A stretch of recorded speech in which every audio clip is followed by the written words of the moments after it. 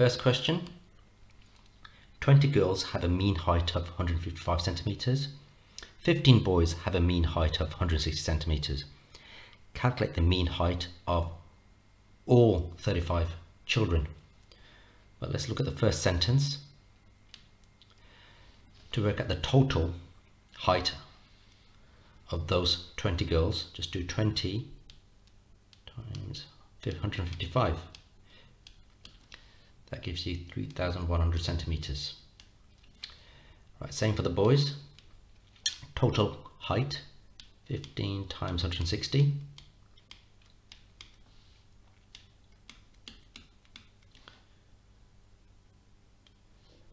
Right, I'm trying to work out the mean height of all 35 children. So I need to add up the total heights of these students.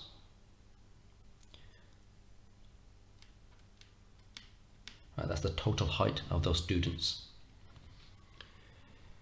There are 35 children altogether, so I now need to do 5,500 divided by 35 pupils. That gives 157.1 centimeters. I've rounded that. So that's the mean height of all 35 children. Second question. At the end of five games, the mean score is 18 points. At the end of six games, so one extra game has been played, at the end of six games, the mean score has now gone down to 17 points per game. So we need to work out how many points did that team score in the sixth game. So first of all, work out the total of those five games. 5 times 18, uh, 90. Do the same for six games. 6 times 17, 102.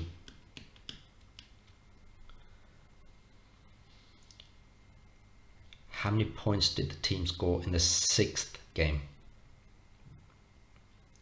So what you do now is you work at the difference between 102 and 90. Uh, 102 take away 90. That leaves you with 12. So it looks like the sixth game had uh, 12 points. Right, now the uh, third question. 100 students each did a maths test. The mean score for these 100 students is 7.2. There were 60 boys. The mean score for these 60 boys was 8.1. Calculate the mean score for the girls. Well, if there are 60 boys, obviously there are going to be 40 girls to make up the 100 students. Right, let's look at the second sentence. 100 students altogether multiplied by their mean that's 720 that's total score of 720 for all students boys and girls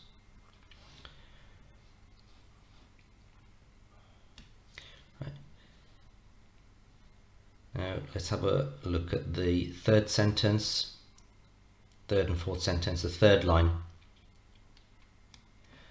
Now this is talking about boys. 60 boys with a mean score of 8.1. So their total score is 486. So that's for boys. Right, now for girls.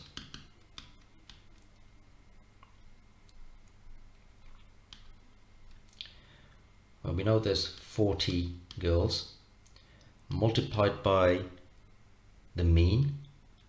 But we don't know what it is. That's what we're trying to calculate. We're trying to calculate the mean. Right, the total score for the girls we can get just by comparing 720 with the 486. Right, the difference between 720 and 486, 720 take away 486, that leaves you with 234. So the total score for the girls is 234. So now to work out this question mark, just do inverse operation, 234 divided by 40 gives you 5.85.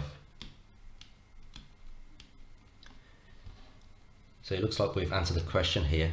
We've worked out the mean score for the girls as 5.85